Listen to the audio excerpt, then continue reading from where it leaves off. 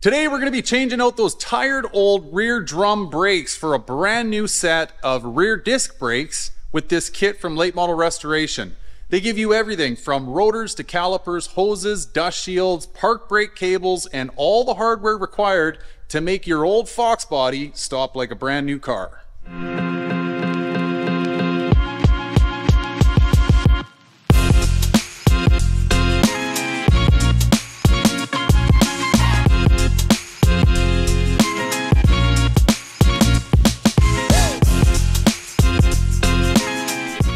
Before we get started, I just thought I'd give you guys a quick rundown of what comes in this kit. So new caliper mounts, dust shields, new lines for the top of your axle, proportioning valve, 93 Cobra Master cylinder. These are the hoses that mount to your axle and actually make your calipers serviceable. New calipers, new rotors, all of the park brake cables to swap over to a rear disc setup. And last but not least, couple bottles, a 75 140, and a little bit of friction modifier.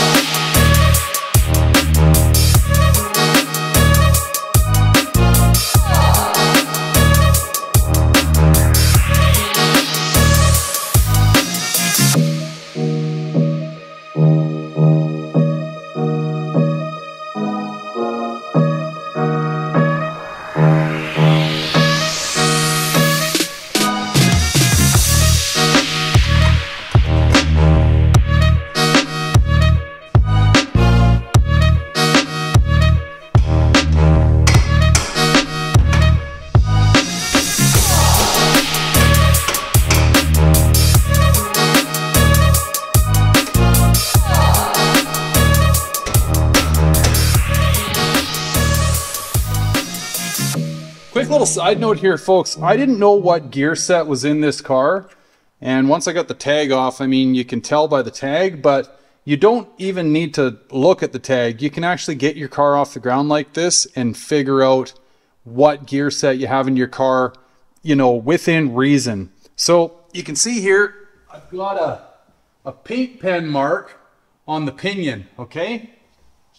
I've also made a paint pen mark on the outside of my axle. You do not have to have the drums and the wheels off to do this, okay? All you need is to get the back of your car off the ground and uh, you can do it with the tires and everything on. So what we're going to do here is count how many times that pinion spins relative to one full spin of this axle, okay?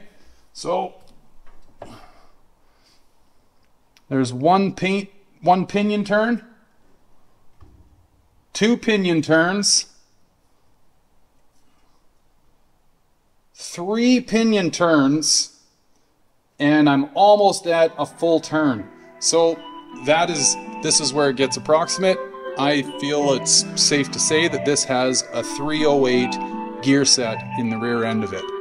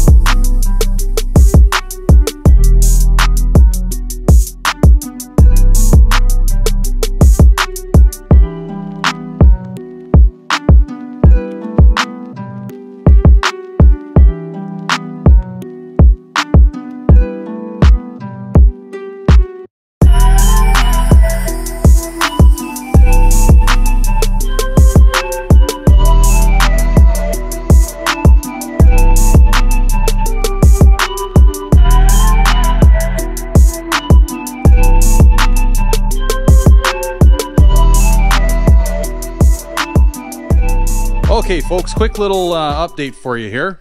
So, I noticed on this side that we've got a little bit of a leaky seal. Now, I planned ahead for this. I also got a, a rear seal kit and axle bearing kit. They come in pairs, so if you're doing one, you may as well do both. I had these just in case. They're not a terrible thing to have laying around on the shelf somewhere. So I'm going to go after changing these out. Now, the seals, you might be able to, like you can if you really want to get rowdy, get these out with a flat blade screwdriver. But a seal puller is makes your life a lot easier. As far as the bearing goes, you need a slide hammer and like a T bearing puller to get those out. I don't know any other way to get those out. You're uh, you're going to be renting tools unless you got them or you know somebody that does. I'm also going to clean up the rear diff cover and splash some paint on it. I'm going to clean all these bolts up and the wire wheel. Clean this up too. Put it back on there. Little OEM tag, right? Um, buzz this off with a little bit of an abrasive wheel on my die grinder. And yeah, I'll sandblast the backside of it in my blast cabinet and splash some paint on it so it's ready to go. While I got the die grinder out, I'm obviously going to clean up this. Now, some people, I don't know, Chris, the Infamous Project, and I talked about this. I can't remember if we did on a video or not, but we did definitely talk about it off the air. Um, some of these new diff covers and stuff that you can buy come with like a, a bit of a paper gasket. I've never ran them, so I don't know. Maybe they work good. I'm old school. I still do the RTV. So anyway, while I got the die grinder out, I'm going to buzz this surface off and clean it all up. I'm also going to clean this like flange up, right? Because it's all nasty. So get in here with, a, with some brake clean and a bit of a wire wheel, tidy this all up so our new hardware's got a clean mating surface to go on. But anyway, stand by here guys. I'm gonna get these seals changed out and the bearings and uh, we'll get back to your regularly scheduled disc brake upgrade.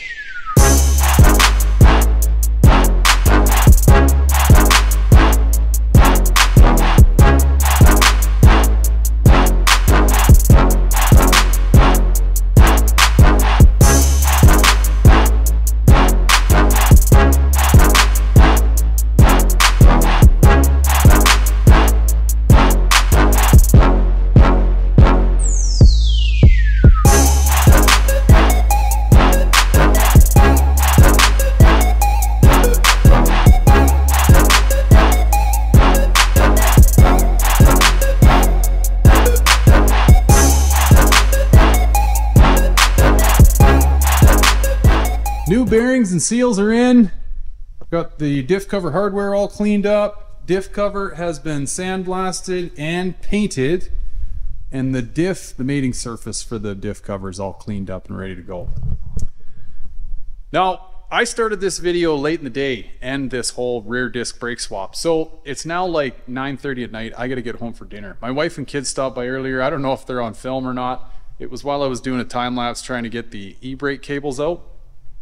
But anyway, they've been here, checked on me. I got to go home, kiss them goodnight. So anyway, we'll pick this back up tomorrow morning. We got a real good head start on like peeling all the old stuff out.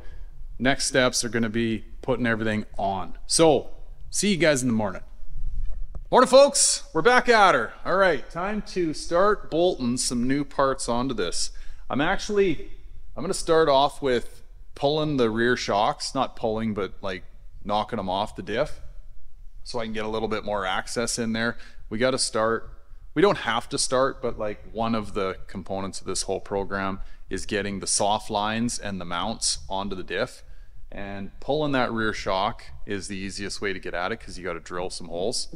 So I'm going to start with that. I'm going to get my bottle jack out and drop this thing down nice and easy so it doesn't fall off of the shocks. And uh, get after bolting all this gear onto the average fox.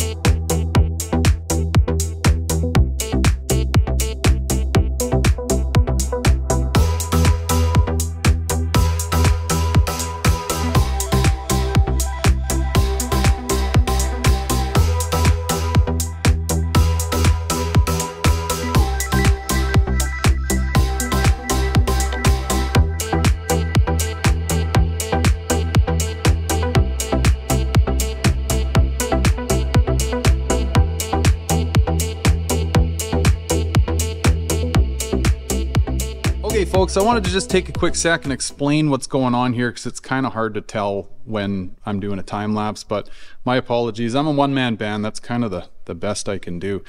At any rate, so I fully expected to drill this lower axle mount in order to accept this bolt and the tab that comes off of this soft line unit. However, I lucked out, okay? Now, I've never been this lucky before. My tab lined up and my hole lined up. That's not always the case. More often than not, you have to like drill this hole out a little bit or mooch it out with a step bit. All that said, this worked out beautifully, so I just threaded it to accept the bolt that's supplied in the kit.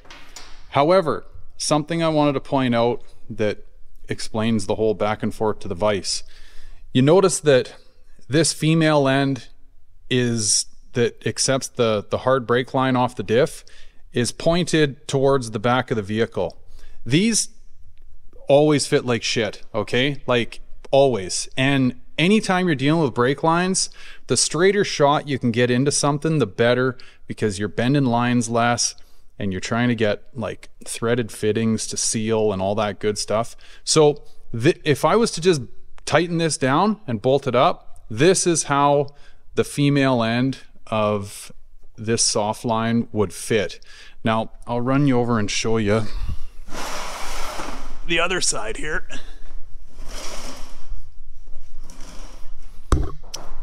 So see how this guy's just a nice straight shot across the diff? Well, that's so I can get a straight shot with my hard line into this female fitting. So it just takes a little bit of not metal fab, but you know, like bending and beating on it with a hammer in the vise. So what I did is I just tightened down this bolt. I beat on the tab end to kind of get the curvature of this mount because this mount is not flat. Okay, it's kind of curved. And then in this little V cut here, I've stuffed this end in the vise and beat on this to bend it in so I can get that nice straight shot towards my hard line. Anyway, I mean, you do you at the end of the day, but this is just something I wanted to point out to you, I guess, as a quick little tech tip or whatever you want to call it. The straighter shot you can get with your hard line going in here, the better off you'll be because, again, these threads don't like to be off ever so slightly, and the least amount of bends you can put in that hard line, the better off you'll be.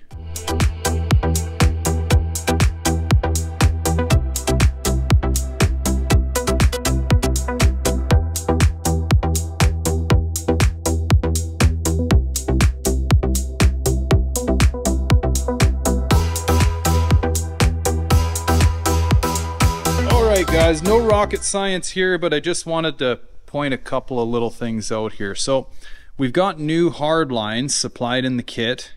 They have been shortened, okay, in order to go to our new soft line female connection on both ends. So this, I mean, you can kind of logic your way through it, right? And just sort of trace the bends, but um, for what it's worth, the longer the two lines goes passenger side, shorter line goes on the drivers. And uh, in my case, they've kind of got this color coded. The brass fitting, brass colored fittings are going to go into your T and your red fittings are going to go to your soft line. So essentially just peel everything off your old uh, T here that comes off your diff. Um, that was a little probably probably a little difficult for you guys to see me peel that off, but anyway, it's just a single bolt that uh, is bolted on the corner of your pumpkin there on your diff. And then this guy um, goes up and ties into your, your main brake line. So you pull that bolt out and a couple of copper crush washers and the whole assembly comes out. So I'm going to get after transferring these lines onto here, essentially just rebuilding this. We'll drop it back in the car, tie everything into our soft lines, and then uh, Probably the next thing we'll get after putting our, our plates on here.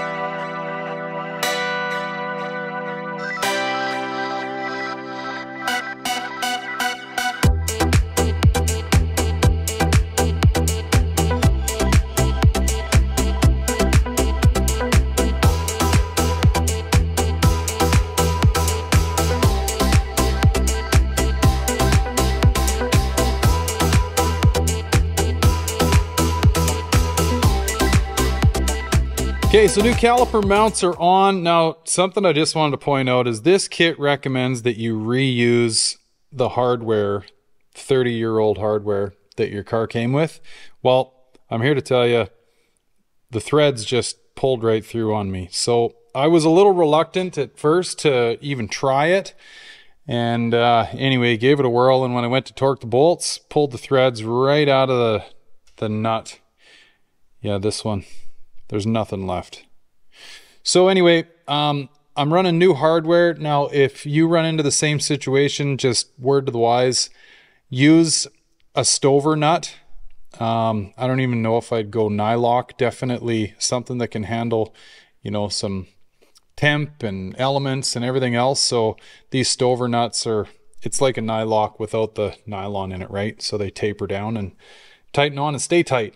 Uh, you do not want to mess around with this bracket, right? This is what your caliper bolts to, and uh, this needs to stay in place. So, just a quick little note on that. My uh, original hardware was no good, so we used some new stuff. Stover nuts for the win.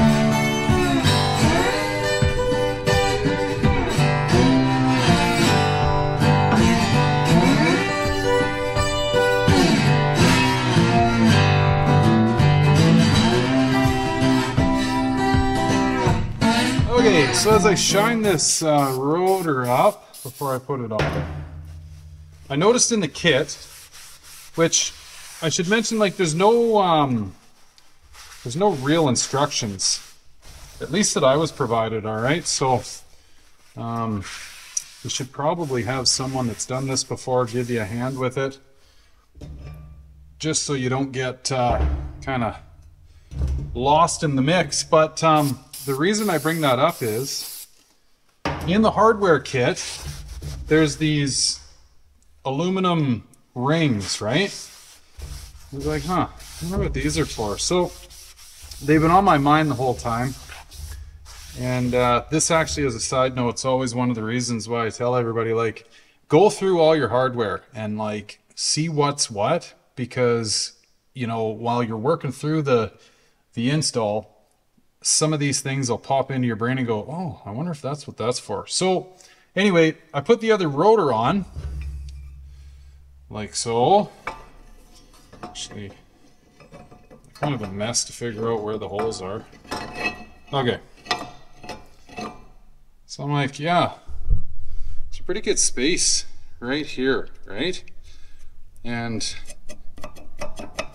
yeah, they don't really center on those lugs all that well, so I'm like, well, I wonder if that's what this guy's for. And now look at that. Now we're centered in there, right? With little to no movement. So maybe, I don't know if LMR is going to see this video or not, but maybe they can comment on this and let the folks know. I assume that's what this is for it only makes sense. But uh, again, there's no instructions, so I don't know officially. Anyway, that's where that's going to go in my install. And uh, yeah, I can't see it causing any grief, even if that's where it doesn't go. But anyway, just wanted to point that out to everybody that uh, this is something that was a little bit of a head scratcher for me as to where it was going to apply, but it seems to fit there quite well.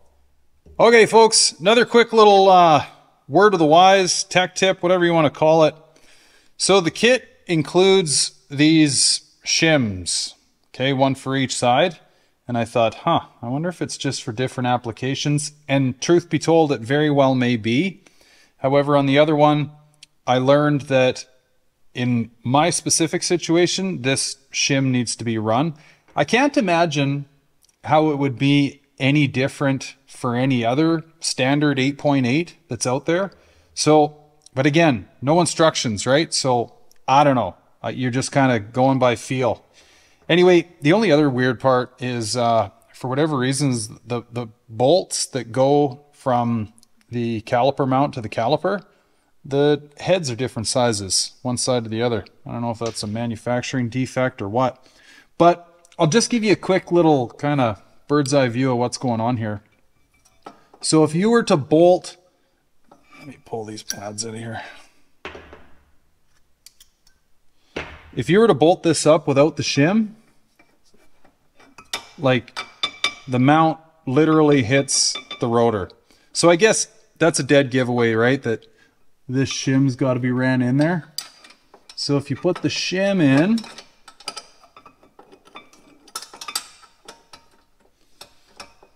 think you should be able to get a view there. You pretty much center your caliper mount between your rotor, which is what you want, right, for even pad wear. So the shim is a requirement to run on these, all right? Outside of that, I think everything else is pretty straightforward. Don't forget to lube up your sliders, okay? Thin film of grease on here and all four corners here. So your pads slide nice and easy.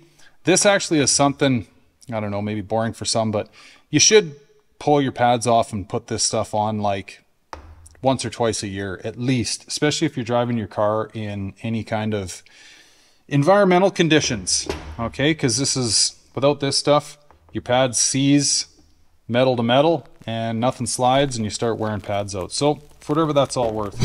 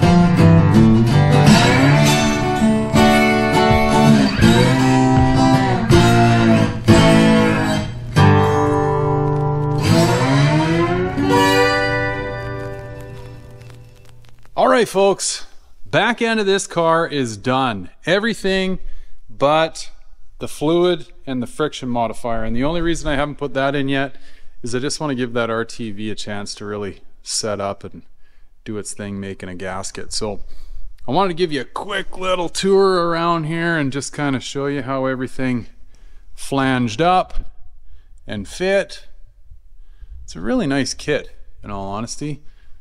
Dust shields, so you remember earlier I was telling you about the um, lines lining up nice and straight? Well, pretty much got a factory flat run here. Maybe even better than factory. Don't tell Ford. um, yeah, really, really nice kit. Those lines are bent very, very nicely. Very little manipulation had to be applied to them to make them go where they needed to go and fit. All right, so now I'm at the point where I need to essentially take half a step backwards in order to make two steps forward. And the reason being is I need to get up and in the cab in order to finish off the emergency brake job.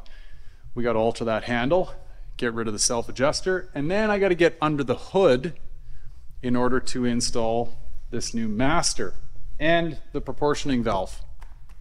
So what I'm going to do is temporarily put the wheels on, get the stands out from underneath it, drop the car down, then we can access all that stuff. All right, real quick here, guys. So got my rear tires on and uh, I noticed right away that my park brake cable is hitting my tire. I'm thinking, huh, what am I going to do here? And now you can see this guy hanging here. I'm going to show you one of these on the table.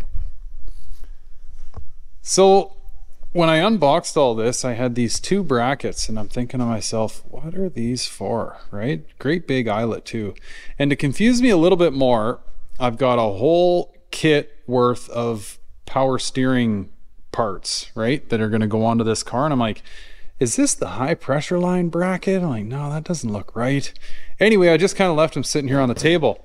And then when this all happened, I thought to myself, hmm, I wonder if this like bolts to something, right? Well, I, think this is what it's for anyway. It seems to work quite geniusly. So that guy, I think you run one of your bolts through from your rear sway bar and this holds your park brake cable off of your tire.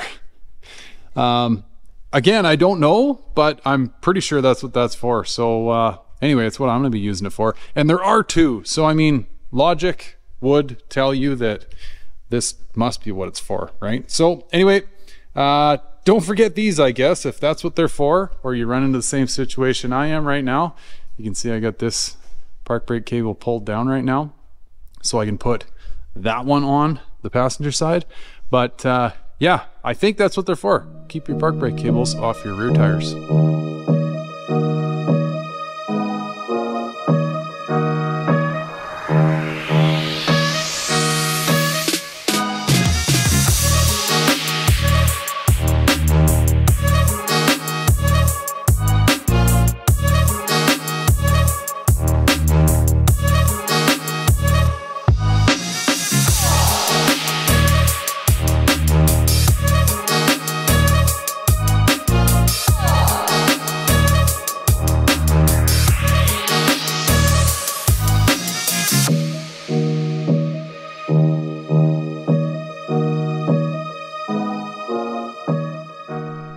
Right, folks, the e-brake handle in all her glory. Now, you've seen me kind of buzzing some things off here. I just wanted to stop and take a sec and show you kind of what's going on. Now, before I do, I should mention Late Model Resto has a great video on their YouTube page on a step-by-step -step how to do this, okay? I'm sorry, folks. I'm one guy on the tools, one guy on the camera. Like, I don't have multiple people helping me here, so I can only do the best I can. But Late Model Resto, on the other hand, has all that, and they do a great job of showing you how to do this. But in case there's something that they don't show that I maybe give you a better angle on, I'm just going to try and explain what's going on here. So what we've done here is we've buzzed off essentially a full length of this clock spring that was on here. Okay, so I've made a cut here and I've cut, well, I took two runs at it to get this guy off here and then I cut here. So that's all been removed. I also removed this piece, which used to live right here. Okay, so I cut that off. And what that does is it allows your emergency brake handle to lay flat when you release it fully. Okay, so you remove this tab.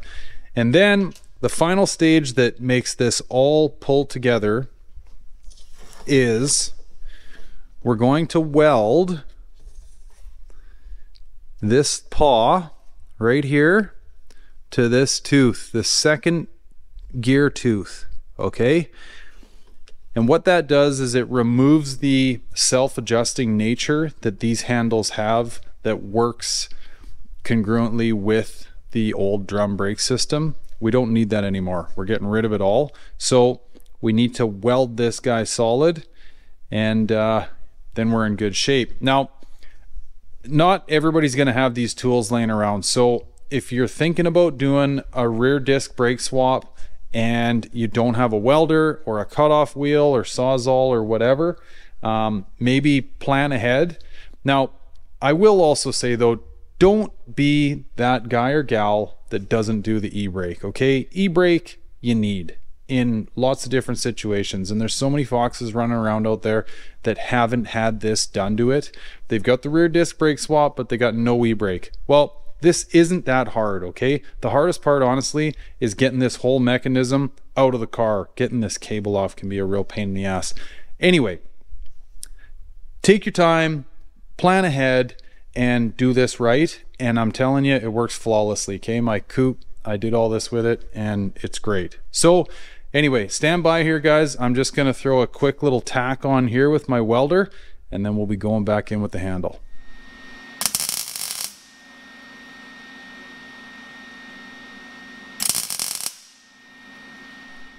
Okay, and a final look at the tack job. I got a little rowdy with my welder, so I took the grinder to it. I didn't need to, but I did just to flatten it out. So again, this paw is welded to the second tooth in from the end on this gear. Now, next step is, this is our new point of adjustability, all right, to adjust our emergency brake. So we got to pull the old individual front cable out and install this guy. And this is obviously gonna run up in here like so. Little hard to do with one hand, but I think you get the hint. We got a brand new grommet to keep the weather and the critters out. And then a couple of tees to pick from. Um, I think these are for different years, if I'm not mistaken. In this 88, we're going to be running this longer one. But anyway, yeah, this is going to go on here. And uh, going to ultimately tie into our two individual cables that run to each respective side. So I'm going to get this guy installed and then after that we're off to the front of the car to do the master cylinder and our proportioning valve. All right, install is reverse of removal, right? So got the new cable plugged in here, got our new seal, and we're to drop all this in. Don't forget to plug your brake light that pops up in the dash back in. Make sure you can tuck your little seal in there and get it pushed into place. It's kind of a clip style seal. Okay. All right, guys, I'll just give you a quick look here at the uh, finished product. So you can cross compare if you're in the middle of doing this yourself, right? I haven't adjusted it fully yet. Um, that's why that back nut isn't fully pinched up against the front nut, but gives you an idea. All right, now we're going to move to the front of the vehicle. And in order to do so, we got to bench bleed the master. So process is fairly self-explanatory. They do provide instructions on this. Essentially, we got to install these two plastic uh, block off plates here and here. We're going to fill the reservoir and then we need to depress the piston and watch the air bubbles come out. And essentially you go in and out, in and out, in and out until you got no more air bubbles. It's a slower process than that, but you know, something blunt and not sharp so you don't damage the inside of your, your piston here. I'm just using a quarter inch extension with some heavy duty duct tape on the end of it, right? Fits in there. You can see how it moves, right? So I'm going to get this guy filled up with brake fluid. We'll bench bleed him and then uh, we'll stop or get up top of the vehicle and start putting this stuff in. Okay, master is bled. And how you know it's bled is you don't notice any more air coming up through the reservoir and you can only depress the piston about an eighth of an inch or so okay? Now we got to get this in the car. We also got to get the proportioning valve in the car which is going over here. But we got to remove the old master. And there's a couple little steps to this. I mean removing the master is fairly simple. You've got one bolt on either side of it that goes to your booster. We're going to remove these hard lines. We're going to unplug our sensor. And we also need to gut the proportioning valve. All of this sounds very technical, but it's really not. I'm going to try my best to get you in under the hood here with me. I'll get my light and stuff and try and show you. But um, as far as gutting this goes, you just, you know, get a great big wrench on this guy here um, or a crescent wrench, whatever you got available to you. This threads out and uh, then there's a spring and a plunger in there. We're just going to pull those off and there's a new dummy plug that we get in the kit that we're going to throw in there this guy here. And essentially all that's doing is removing that proportioning valve's ability to proportion fluid. And then we're gonna install this in the line that goes to the rear brakes. And that is how you're now gonna adjust your rear braking proportionality is through this dial. Again, sounds technical, but it's not. You just play with it a little bit, go out for a few drives. You obviously don't want your back brakes locking up. So go out, if they lock up, dial it down a little bit. But anyway, that's all for after when you're test driving.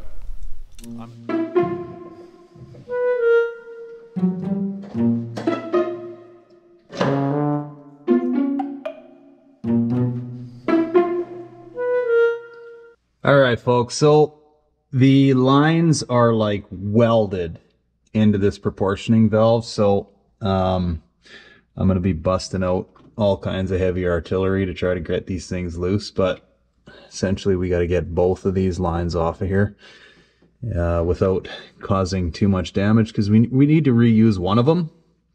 Anyway, um, stand by here.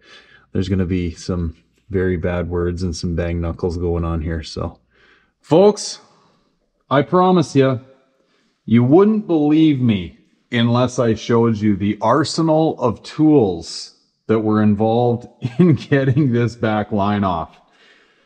I, like, let me get this line off and then I'll show you. Like, it has been an absolute time. Well, and I'll show you the line too. Holy. This is one of those situations where you say to your better half, yeah, I'm just going to be in and out in an hour. Well, I don't, I, I've eaten up at least an hour and a half trying to get this thing out. I don't know if you guys ever seen my pooch. This is Buckaroo. Anyway, um, yeah, like heat was involved. Um, check out this thinking on your toes. I got a Crowfoot on the end of my little impact, like just trying to, but hey, buddy, just trying to bust any of this rust loose. I mean, there is absolutely nothing left of the uh, the head of this guy. Like it's rounded right off. Vice grips, pliers. Like once I started running out of actual square, hi bud, square uh, you know, pieces to bite with my wrenches and stuff, I just, yeah, I went all in and, uh, vice grips and pliers were involved. So that is the kind of stuff that they don't show you on, you know, standard YouTube installs. and I guess I didn't show you either, but trust me, uh, I think a lot of you would think less of me after the color, colorful language and, and tools that were thrown. What an absolute disaster. Anyway, the saving grace of all this is we do not need to reuse this back line. Thank goodness, because it's absolutely trashed. The front line we're going to reuse, but the back line we're going to replace with this system here. That's all part of the kit, okay? And it's from Maxim Motorsports. Maxim Motorsports provides you with instructions on how to do all this, so I don't want to bore you too much, folks. But there is one thing I want to mention. There's a measurement you need to take, okay, with this new master cylinder and it all has to do with like the piston depth and the stud that comes out of your booster. You have to take these measurements, do some subtraction, and get your stud that comes out of your booster. You actually have to adjust it. In my case, uh, sorry, this stud right here. Okay, you can see the threads on there. This threads in and out. I've got to dial mine in. And the reason you got to do that is, well, the master cylinders, this one to the new one, are different. And if you don't dial, if you don't take your measurements appropriately, and in my case, if I don't dial that stud back in, I'm going to be applying brakes with the pedal all the way out. That's obviously bad, right? You're driving around with your brakes on. So make sure you pay attention to these instructions. They explain very clearly how to do it all. I took my measurements here. I've definitely got to make some changes. So make sure you pay attention to that too. I'm going to dial my stud in a little bit. Everybody's situation is going to be slightly different. So I won't bore you with all that, but I'm going to dial my stud in and then we'll get after putting the new lines on and putting the new master cylinder in the car. All right, folks, and last but not least here, I almost forgot, we got to gut the proportioning valve. So bear with me here. We'll get this guy opened up. Okay, need some pliers. Got her. And then simply thread the supplied plug back on. Here's a quick look at the final product. Everything's all tightened up and ready to race. Um, yeah, this kit works quite well. You know, it's, uh, I guess at first blush, when you look at it all, the bends and the twists and the whatever, you maybe think to yourself, holy, how am I going to make this work? But honestly, it's pretty straightforward, right? So the next step is we got to break into the rear line over here and we're going to be installing this Ford Racing proportioning valve. This is by no means rocket science, folks. The only way you can do screw this up is to put it in backwards. Don't put your in in the right direction and your out in the right direction. Other than that, straightforward. We're going to be putting it in like so. And this is our dial to adjust our, our rear bias, braking bias. And we got some fittings here that are going to line up with the stock lines on the car. All right, guys, pretty self-explanatory here. We're just going to take this center section out. Sticky lines.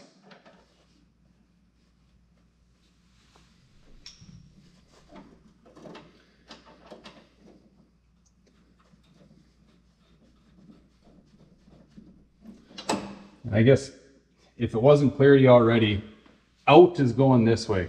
In's coming this way, in and out.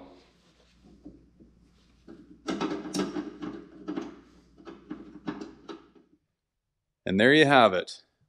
Final, final. Everything bolted up. Well, almost. I still got some loose ends to tie up. I gotta get the emergency brake cables pulled back from the tires. I've got to put the drive shaft on.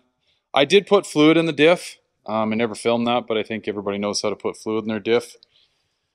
Um, now, essentially, the fun begins. And what I mean by that is, obviously, this whole brake system needs to be bled. And while it's being bled, you need to keep your eyes peeled for leaks. There's pretty much a 99% chance you're going to have a leak somewhere. That just, it never fails, okay? We just messed with all kinds of connections up here at the master. Chances are we're gonna have a leak somewhere. We messed around with all types of brake line connections in the rear. Could have a leak somewhere in there. You never know. But they're not gonna really necessarily pre present themselves until you're bleeding the brakes. You might find one early up by the master, just with it being full of fluid and it's kind of gravity draining itself you may find a leak up here, but anyway, it's not going to be until you pressurize the system and you start bleeding this thing down. Now, brake bleeding, I think for the most part, everybody kind of knows that. Um, you can do it with a friend. You can do it by yourself if you got like a vacuum bleeder or whatever. Anyway, um, I guess the thing that I stress the most is just make sure you bleed your brakes properly, okay? Like, brakes are key.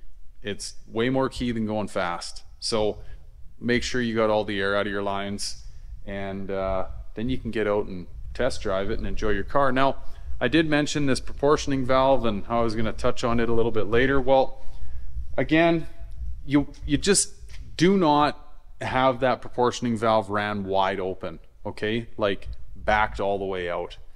I mean, these cars are very very light as is and the rear end especially is really light. So now that you've like amplified the braking capabilities of this car, this thing will lock up quick. So just be aware of that. Like don't go out there and just pile on the brakes. It'll be like locking the back brake up on a dirt bike. You'll be in the rhubarb real fast. So take your time with that. You know, slow and steady wins the race. Uh, don't want anybody out there getting hurt. But essentially that sums up a rear disc brake swap in a Fox body. It is a very um, nice addition to these cars, okay? It's probably the best way that I could sum that up. They just like pretty much stop on a dime. Now, obviously these cars don't have ABS, so you can't just lean on them like you can a brand new vehicle, but getting rid of those drums, which are awful, they fade fast, especially under spirited driving, going to a rear disc is just yeah, it, it changes the the enjoyment you can get out of one of these cars. So I highly do recommend it. All right, um, my coupe has it, my vert doesn't. The vert, yeah, you don't want to be stopping quick in that car. Maybe once if you're lucky, and uh, the second time, not happening. So anyway, highly recommend this.